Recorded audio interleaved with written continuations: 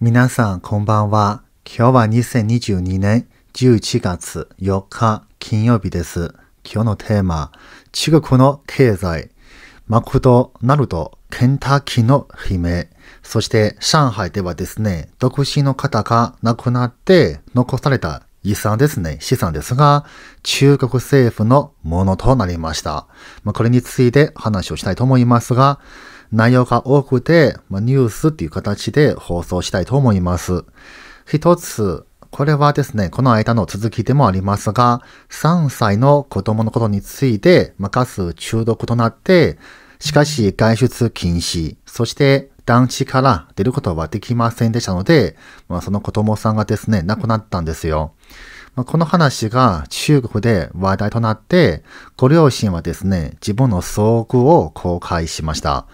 ガス中毒になったのは2人いてですね、3歳の子供とお母さんでした。お父さんは32歳ですね。ねえ、夏っていうところの出身ではあります。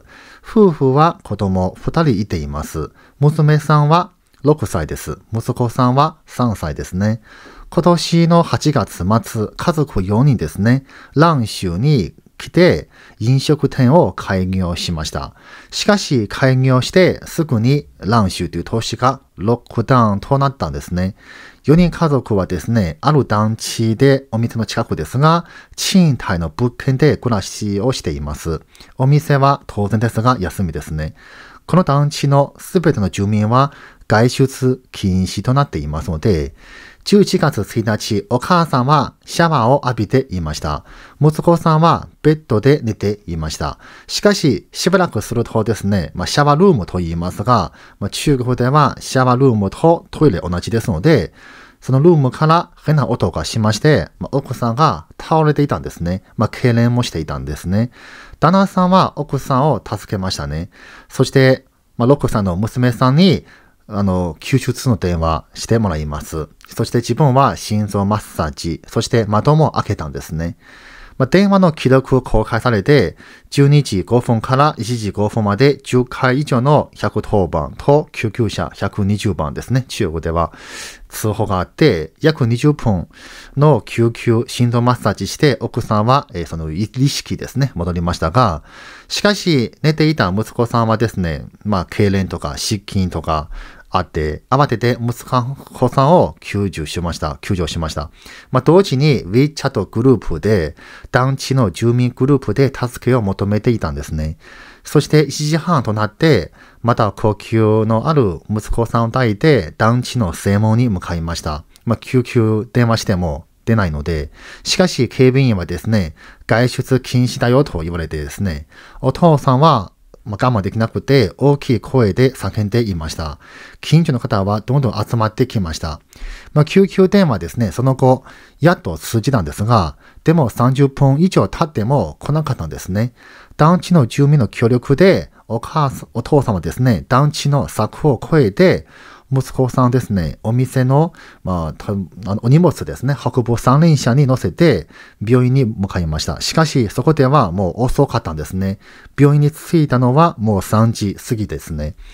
これでわかるのはですね、中国の、まあ、団地の警備員ですね、とても冷たいんですよ。まあ、政策、上の人の声っていうのは命令ですね。まあ、中国の警備員は大体ですね、元中国人民解放軍の方が多いんですよ。そして、どんなことが起きても命令に従います。そして、団地がですね、例えば閉鎖となって火事が起きても、消防車が到着しても入ることができないんですよ。やはり出入り禁止ですので、そこで消防隊はですね、策を乗り越えるしかできなかったんですね。これについて動画で話をしましたが、例えば今年9月ですね、生徒で地震が起きたんですよ。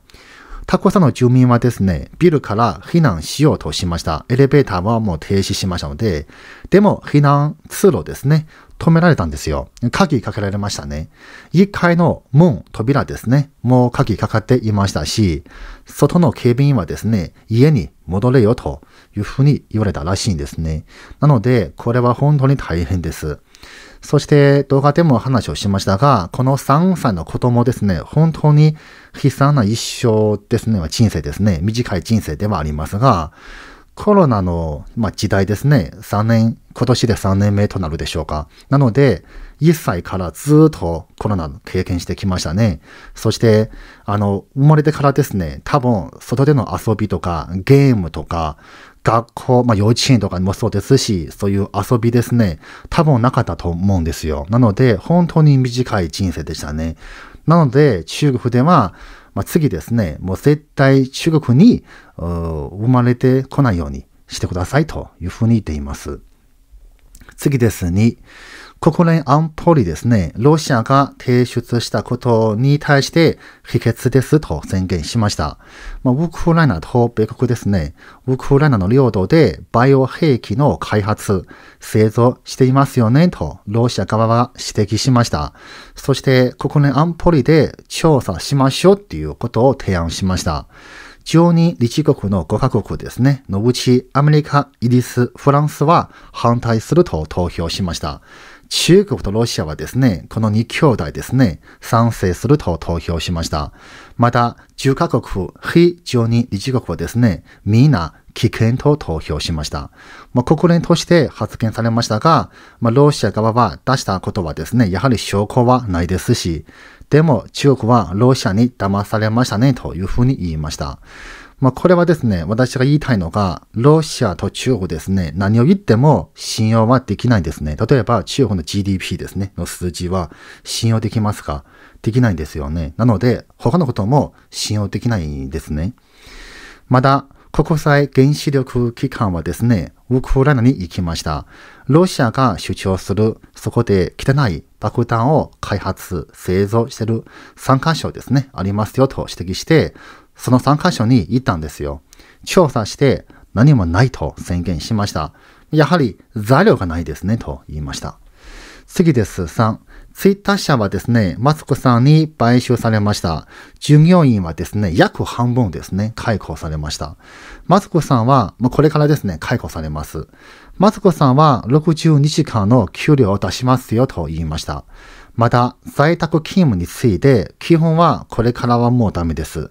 通勤できなければ解雇するよというふうに言いました。元ツイッター社の管理職の方は、やはり圧力ですね、かけられています。残業はとにかくすごいんですね。事務所で寝泊まりですね。マツコさんは、とにかく管理職の方に対して厳しいんですよ。12時間の勤務を要求しました。1週間7日間の勤務ではあります。なので、毎日ですね、休みはないんですよ。1週間。ツイッター社の従業員は、これからマスクさんのテストですよね、というふうに思っているんですね。そこで、努力する人、努力しない人は分けようとしています。なので、みんな努力しようとします。首されないように。まあ、これで、ファーウェイっていう会社を思い出しました。ファーウェイのように見えるんですよ。どうしてかと言いますと、私の普通に友達ですね、ファミにいてるんですよ。ファミに面接に行きました。もう普通にですね、あの、折りたたみのベッドもらえますので、事務所で残業しなさいではなくて、寝ろよっていうことです。そしてお布団は専用のチームがあってですね、お布団は干したりとか、シーツですね、変えてくれるんですよ。なので、折りたたみのベッドを渡されるんですよ。それを受け取るのか、受け取らないのか、っていうふうに聞かれますね。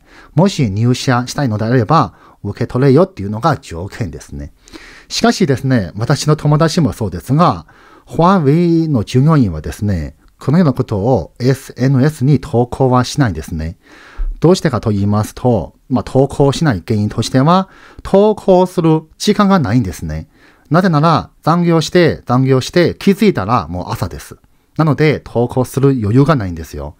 でも、ツイッター社の管理職の方は、自分が寝泊まりしてる写真ですね、投稿していますが、やはり、これはある意味自己アピールではないかと思ってしまいますね。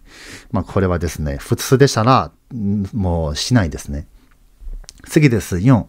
台湾ですね、10月7日から入国の条件を緩和にしました。香港、マッカーの方は観光、また就職は可能となりました。ツアーの観光客は15日間までは滞在可能です。まあ、ツアーですと、まあ、5人が最初です。最大で、最大人数は40人までですね。でも、中国大陸は除外するよというふうに言っています。次です。5、アメリカの投資企業ですね、タイガーグローバルマネジメントという会社ですね。この会社の CEO さんは、中国での投資を中止にするよと発表しました。まあ、原因としては、習近平は続投となりました。仲間も登場しました。これから地政学的なリスクが高くなります。つまり台湾海峡ですね。まあ、外交もそうですが、また中国のゼロ感染者っていう施策はいつ終わるでしょうか？見えませんと。この状態で中国で新しい投資を中心にする株の購入はもうしません。ただし、現在投資してるプロジェクトはアマデで売却することは考えていません。そしてこれからですね、インド、また東南アジア地域に力を入れていきますよと発表しました。この会社はですね、主に中国の IT 企業に投資をしてるんですよ。例えば、TikTok の投資で有名となっています。また、他の民間企業に対しても投資をしてきました。でも、習近平はですね、この2年、3年間ぐらいですね、個人企業の発展を止めたんですよ。そして、この行動はこれからも続くでしょうと思いますので、つまり、中国の会社はですね、もう投資する価値はないんです。次です。6。中国のゼロ感染者施策が続いて、飲食店、特に大手企業がですね、ショックを受けています。例えば、賃店が多いです。例えば、お店の広いですね。あるいは、従業員の数が多いと大変です。例えば、KFC、ケンタッキーとマクドナルドですね、を経営するアメリカの会社ではありますが、ヤムチャイナっていう会社ですね。中国の子会社ですね。悲鳴を上げました。この会社はですね、なかなか発言しないんですよ。今まではやはり我慢してきましたし、ただし習近平が続投となっていますので、これで我慢はもうできなくなりましたね。11月3日、中国での運営状況を公開しました。今年10月ですね。まあ先月ですが、1140店舗、一時営業停止の状態です。うち約10%ほどの店舗は出前だけの営業はやっていますよと。そして9月、先々月ですね、900店舗が休みです。8月は400店舗でした。7月も400店舗でした。これでわかるのはですね、7月、8月は同じく400店舗一時営業は停止でした。今はですね、全国で1400店舗、1140店舗ですね、となりました。かなり大変ですね。まあ、原因としては、多くの都市、区域が閉鎖、ロックダウンとなっているからです。中国人の消費者は外出する方が少なくて、お金は使ってくれません。営業する店舗もあるんですが、利益は激減ですと。これでわかるのはですね、まあ、KFC、ケンタッキーにしても、マクドナルドにしても大変ですね。やはり立地が良いですし、まあ、家賃も高いですね。その分はショックを受けやすいんですね。また、このような大手企業ですら大変ですと言いますので、他の飲食店はですね、もっと大変ですよ。次です。7、上海のですね、未来っていう記者ですね。も大変ですね。10月暗記省、東合秘書にある自動車工場はコロナの影響でショックを受けています。一時生産停止しました。今でも続いています。一部のお客さんに対して自動車の納車は遅れていますと。ただし、具体的な数字は発表していません。これで判断できるのはですね、中国の今年の第4四半期の経済はもっと期待できないんですよね。でもですね、中国政府はきっとですね、良い数字を発表するでしょう。例えば、第3四半期の経済成長は3.9%です。それは絶対信じてはいけません。次です。8。11月3日、セレンスキー大統領は G7 首脳サミットに参加しますと話をしました。でも、プーチン大統領がもし参加するなら、私は行きませんと言いました。G7 首脳サミットは11月15日と16日、インドネシアのパリ島で開催されます。現在、17カ国の首脳は参加すると言っていますが、まだ3カ国のからですね、返事はない状態ではあります。ロシア側はまだ決まっていないんですね。まあ、中国と日本は参加されますが、次です。9。岸田総理と習近平の会談は準備は進んでいますね。予定としては11月中旬っていうふうに聞いております。つまり G20 サミットですね。で、時間を作って2人の会談はあるでしょうが、これは厳しいと思いますね。結構忙しいですので、ないかなと思います。ただし、11月16日ですね、G20 首脳サミットが終わって、習近平の予定としては、11月17日、タイのバンコクに行きますので、まあ、そこでアジア太平洋経済組織、まあ、協力組織サミットが開催されます。なので、ここで岸田総理と、まあ、会談するでしょうと思います。日中首脳会談の最後ですが、2019年の2月、12月でした。安倍元総理、北京に訪問に来られましたね。まあ、2020年の4月ですが、習近平は日本にいて、桜ですね、花見に行くっていう予定はありましたが、しかしですね、あの、ずっと延期延期でしたけれども、それからはもう消えましたね。そして次です。10、モルガン・スタンレの会社ですね、発表しました。これから人員削減、リストラすると、ことをやっていきますよと発表しました。まあ、特に香港と中国地域ですよと、まあ、香港と中国にあるチームですね、縮小すると発表しました。現在、モルガン・スタンレーという会社ですね、世界での従業員は約8万人以上ですね。今年第3四半期の経営状況は良くないでしょうと言われています。そして9月ですね、ゴールドマン・サックス社は500人ぐらいを解雇にしました。グレディ・スイス社は第3四半期ですね、2700人を解雇にしました。それからドイツ銀行ですね、投資部署を縮小すると言っていますが、どのぐらいの人を解雇するかはわかりません。なので、結構ですね、先進国では、あの、人がいるときに非常に高い給料を出して人を、ま、雇うんですよ。でも、使い終わってですね、ちょっとでも経済が悪くなったりするとすぐに切るんですよ。まあそういう、まあ風習というか、そういう習慣というか、まあそういう文化ではありますね。まあこれはですね、まあ解雇されたらやはり大変ですね。次です、11。米国とドイツの製薬会社ですね、コロナワクチンとインフルエンザのワクチンですね、今後ワクチンの開発、まだ製造やっています。現在実験の状況です。状態です。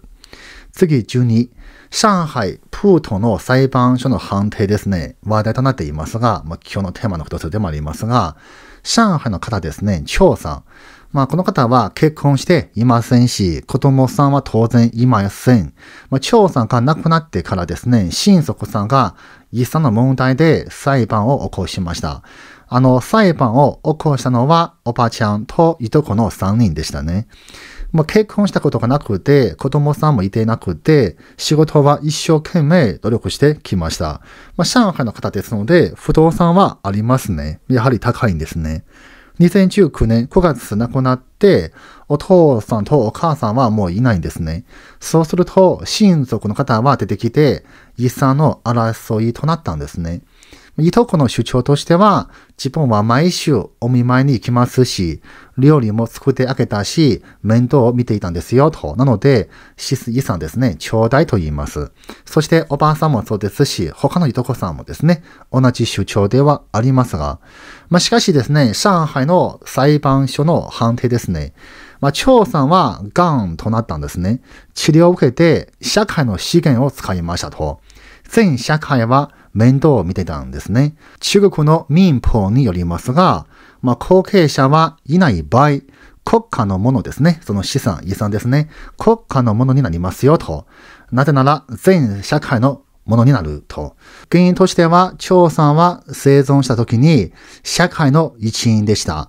社会は組織ですね。そうすると、張さんの遺産は組織のものとなりますよというふうに判定が出ましたね。まあ、これがですね、国際社会の上海の裁判所が出した判定ですね。あの、そもそもそも中国の社会ですね、誰かの面倒を見たでしょうかまあ私は聞いたことがないんですね。例えば、病院でお金がないことで困る人はいっぱいでいます。まあ現在ですね、まあ投資がロックダウンとなって、病院に行きたくても行けないっていう状況でもありますし、つまり、社会はどこまで面倒を見たでしょうか？わからないですね。これで見るのはですね、中国政府はやはり泥棒でもそうですし、まあ強盗でもそうですね。私はここで思い出したんですが、お年寄りが、まあ、見待ちでですね、転げました。そして、助けるとですね、罰金取られるんですよ。これが中国の法律なんですよ。そして、女の子がですね、例えば、まあ、これも実際的にあった話ですね。女の子が男数人に街でいたずらされました。そこで、まあそういう勇気ですね、あるいは正義感のある方ですね、助けたんですよ。そこで喧嘩となって、お互いは最終的に怪我しましたね。そして、助ける方ですね、逮捕されて罰金取られましたね。逆にチンピラの方が大丈夫でしたね。理由というのは、君が助けるからです。君が助けるから喧嘩となったんですよ。助けなければいいのにっていうふうに政府が、まあ、中国の裁判所ですね、言うんですよね。なので、中国ではですね、まとめると、正義っていうのはあってはいけないんですよ。まあ、中国の共産党も非常にですね、それを怖がってるんですよね。みんな正義感があって、助け合うとか、あるいは不平等、不公平のことを見て、正義があるので、やはりね、あの、まあ、そういう正義感のある方は、やはり反発しますので、中国政府にすれば、やはりダメなんですよね。そういう人間ですね、いてはいけないんですよ。正義あってはいけない理由というのはそこなんですよね。なので、中国では本当に社会がむちゃくちゃです。まあ、上海の裁判所自体が、まあ、泥棒ですね。そういうふうにあの言いたいと思います。この動画はここまでしたと思います。最後、犬のボタンをお願いいたします。ありがとうございました。